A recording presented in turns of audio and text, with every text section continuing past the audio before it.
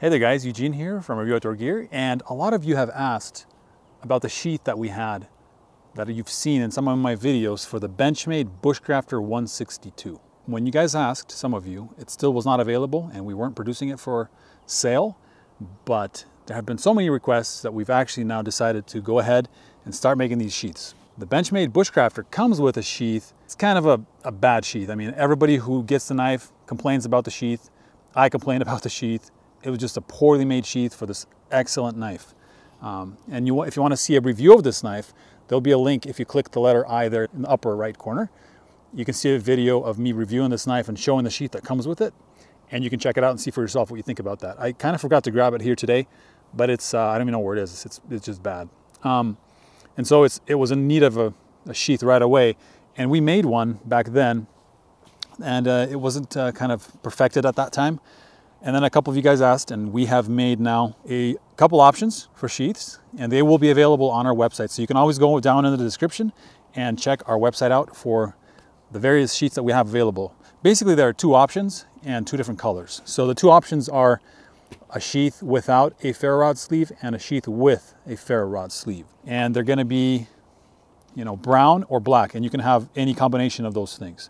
So the Bushcrafter just gets in there like that and sits really, really nice and tight in there.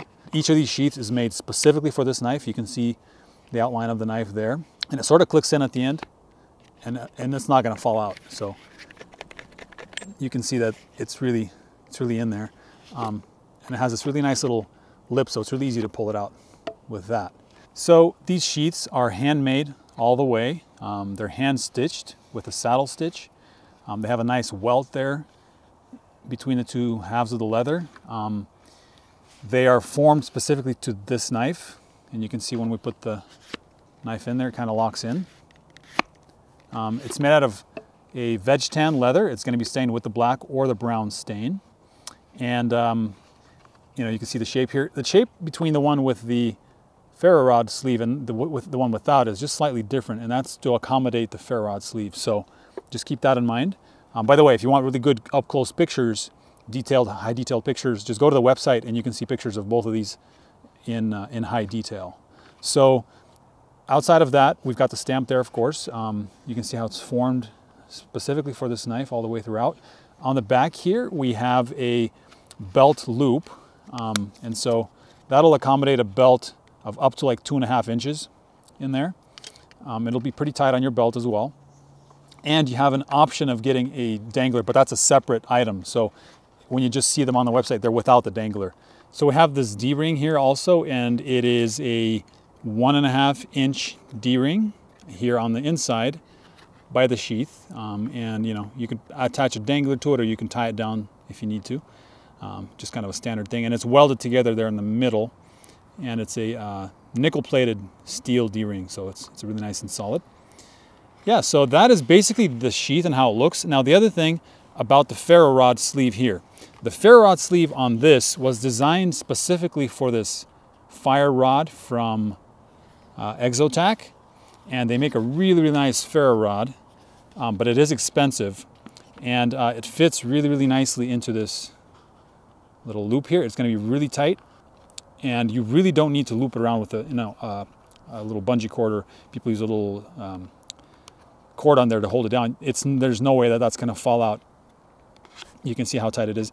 Um, with time, as you use it, it might get a little bit more loose and it might start to fall out. So then, yes, you can tie down a little uh, loop and you can hold it in that way. But then having that uh, Exotac fire rod, and we'll have a link in the description to this if you're interested on Amazon um, from the manufacturer. But you can see how that finishes off this kit here. It looks really nice. And you can see pictures of that on the website as well. That ferro rod is exactly 5 16ths inch thick. Um, and so this will accommodate any ferro rod that's 5 16ths inch, you know, wide, uh, di diameter wise. Um, and it is exactly two inches long here. So just make sure that if you are planning to use some kind of ferro rod with this, that it will be at uh, 5 16ths or maybe a little bit smaller, but definitely not too much bigger uh, because it's going to be hard to stretch that thick, almost uh, eighth inch leather. Um, but you know, just keep that in mind.